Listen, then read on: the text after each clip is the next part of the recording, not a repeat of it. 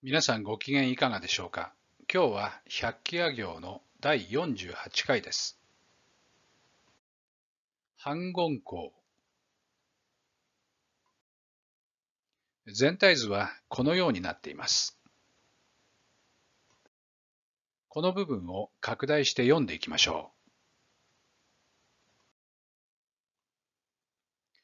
う。これは返すという字です。次は、魂という漢字です。これは、香り。振り仮名ですが、これは、ものという漢字を崩したもので、はと読みます。次は、ん。これは薄いですが、ご次は、ん。これは、可能のかという漢字を崩したもので、かと読みます。次は、りのように見えますが、うです。次は全体を読んでいきましょう。これは、漢という漢字です。次は武士の武。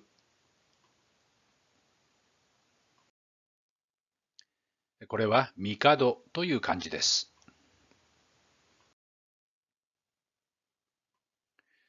振り仮名ですが、これは可能のかという漢字を崩したもので、かと読みます。次は、句のように見えますが、左下の棒が薄くなっていて、これは、んと読みます。次は、の。これは、ぶです。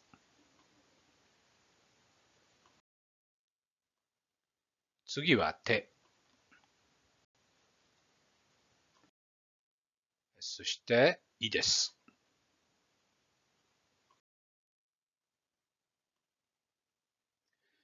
これは、すもも、りという漢字です。次は、夫という字です。そして、人。振り仮名は、り次は、ふ。そして、じ。これは、ん。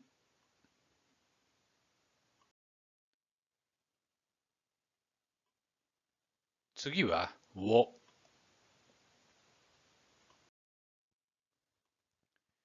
ここは、寵愛の寵です。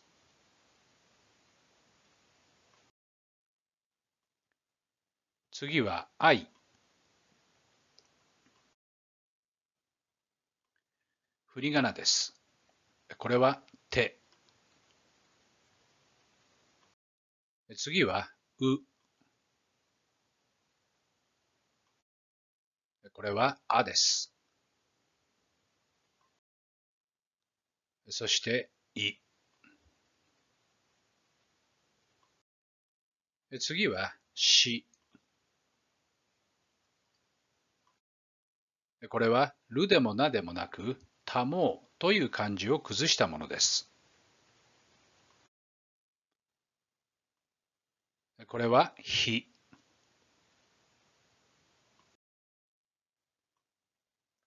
これはしです。次は、にという漢字を崩したもので、にと読みます。次は、夫。そして人という字です。振り仮名はふ。次はじ。そしてん。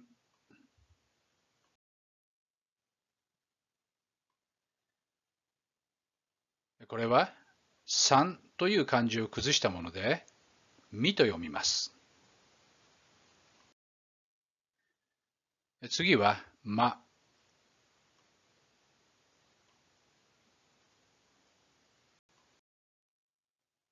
これは、可能のかという漢字を崩したもので、かと読みます。濁点がついていますから、がと読んでください。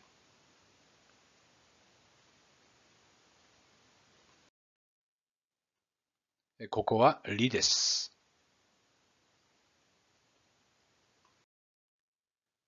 次は先ほど出てきたたもうという漢字を崩したものです。次はひ。そしてしです。これは可能のかという漢字を崩したもので、かと読みます。次は8という漢字を崩したもので、はと読みますが、濁点がついていますので、ばと読んでください。次は思うという漢字を崩したものです。そして、年という漢字を崩したものです。次は振り仮名です。これはし。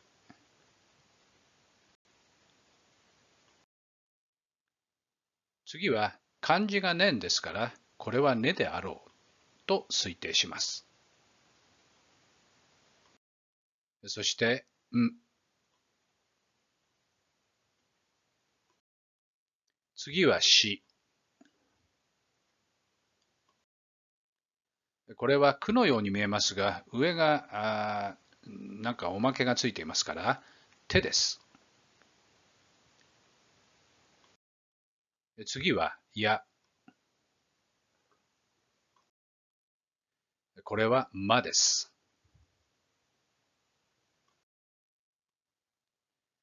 次は、春という漢字を崩したもので、すと読みます。濁点がついていますので、ずと読んでください。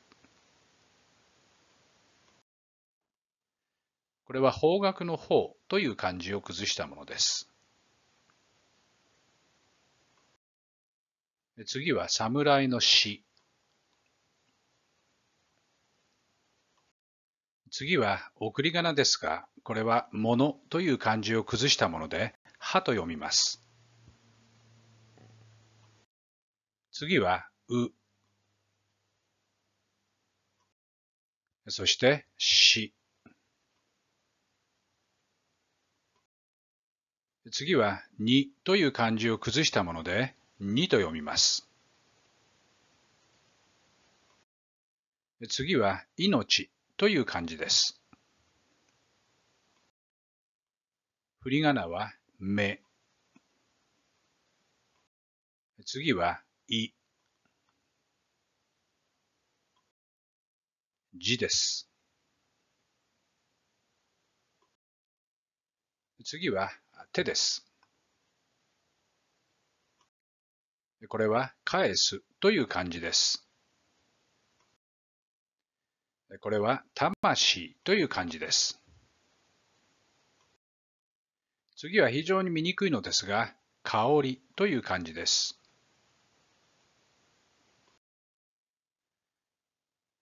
振り仮名は、ものという漢字を崩したもので、はと読みます。次は、ん。これは？5。そして、ん。次は、可能のかという漢字を崩したもので、かと読みます。これはうです。このあたりは非常に薄くて見にくいですね。漢字から類推してください。次は、を。これは、多いという漢字を崩したもので、たと読みます。次は可能のかという漢字を崩したもので、かと読みます。次はし。これは無です。次は夫。人ですね。次は、ふ。これは、じ。そして、ん。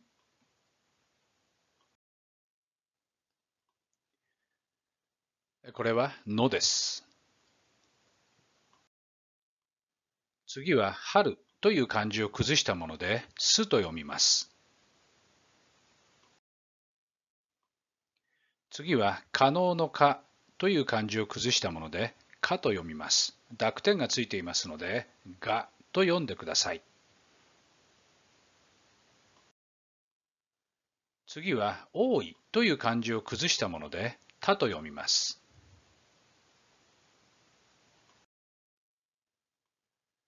次は、彷彿の方という漢字を崩したものです。これも上頭に普通。普通です。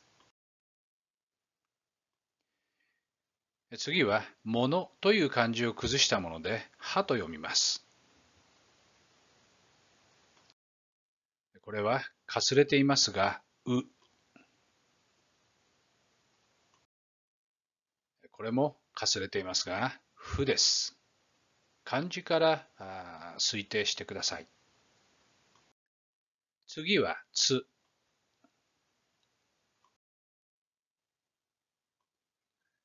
これはと。次はし。次はて。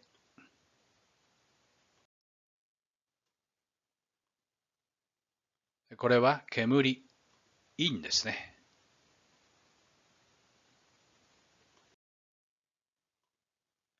読み仮名はけ。次はぶ。そしてりです。これはの。次は中という漢字です。湯のように見えます。注意しましょう。ここはにという漢字を崩したもので、にと読みます。次はあ。これはらです。次は8という漢字を崩したもので、はと読みます。大変小さいのですが、これはる。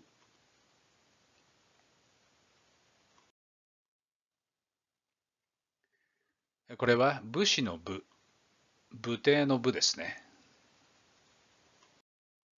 よってこれは帝、帝という漢字です。振り仮名は武、そして手。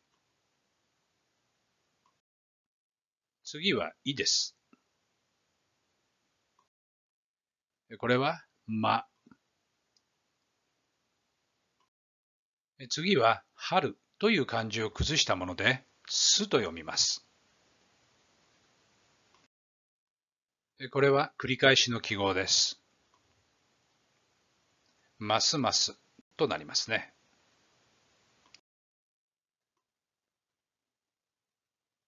小さいうのような字は、可能のかという漢字を崩したもので、かと読みます。次はな。そしてし。次は三という漢字を崩したもので、みと読みます。これは詩、ポエムですね。振り仮名はし。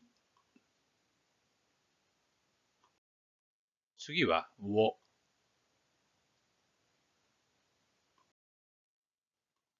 ここはつです。そしてく。これはりです。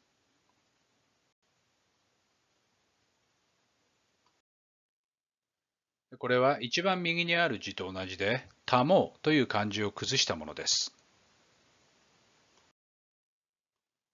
次はふ。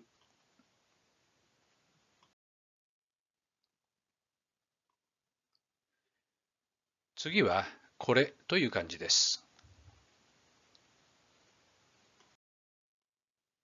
次は、いや。これは、ひ。あるいは、や、かとも読みます。ここではかと読ませています。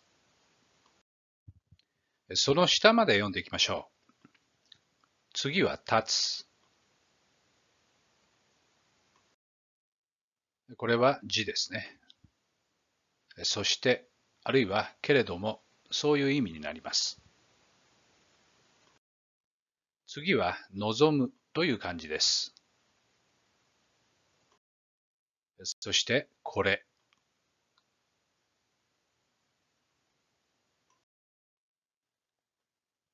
漢詩ですので、振り仮名を全部下まで読んでみましょう。これは、し。次は可能のかという漢字を崩したもので、かと読みます。次はひ、いのように見えますね。大変小さいのですが、これも可能のかという漢字を崩したもので、かと読みます。次は、多いという漢字を崩したもので、たと読みます。次はつ。そして手です。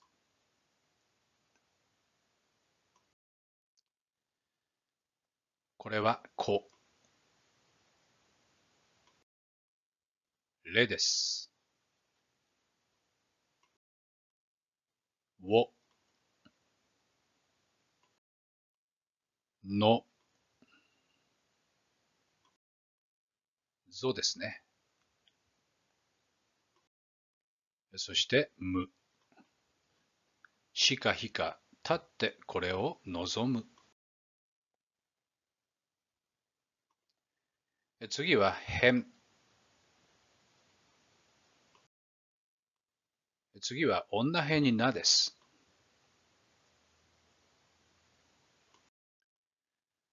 これは繰り返しの記号です。次は何？という漢字です。次は善と読む字ですね。これも繰り返しの記号です。読み仮名は、ひ、次はと。そしてへ。これはにという漢字を崩したものでにと読みます。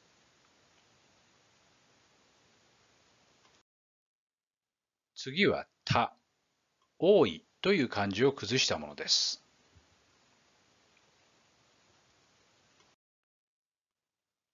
次は、はい、繰り返しの記号でした。次は、多いという漢字を崩したもので、たと読みます。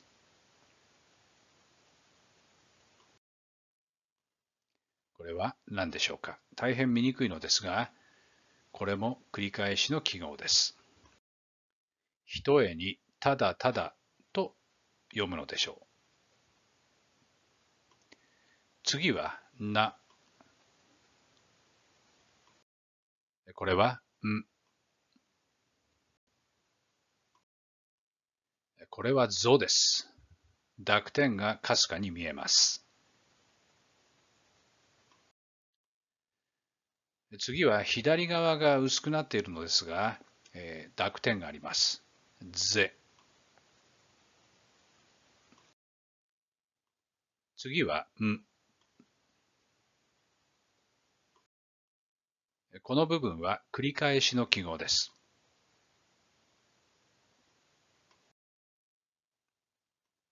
まだあります。とです。そして、し。次は手です。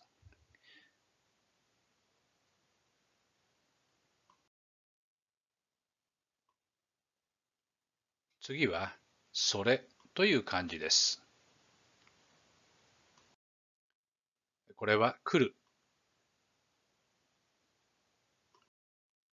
そして、これはですね、遅いという字です。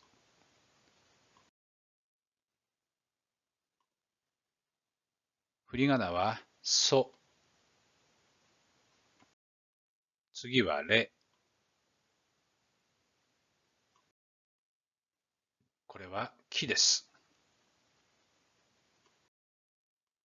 次は、多いという漢字を崩したもので、たと読みます。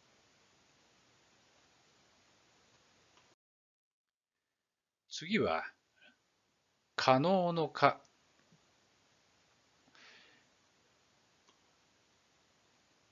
かと読むのではないかと思われます。次はと。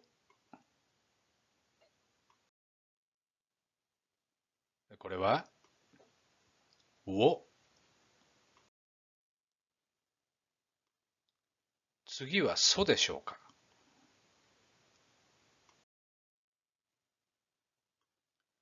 これは木です。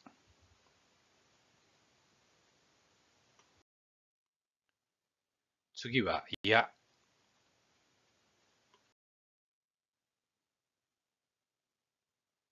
このように読んでみました。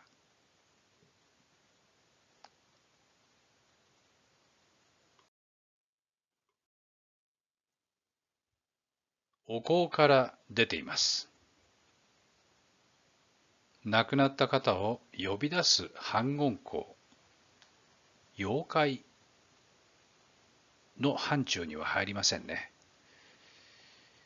まあ不思議なものでしょうか。それでは皆さん、またお会いしましょう。ごきげんよう。さようなら。鬼のようでもあります。恐ろしいですね。それでは皆さん、またお会いしましょう。ごきげんよう。さようなら。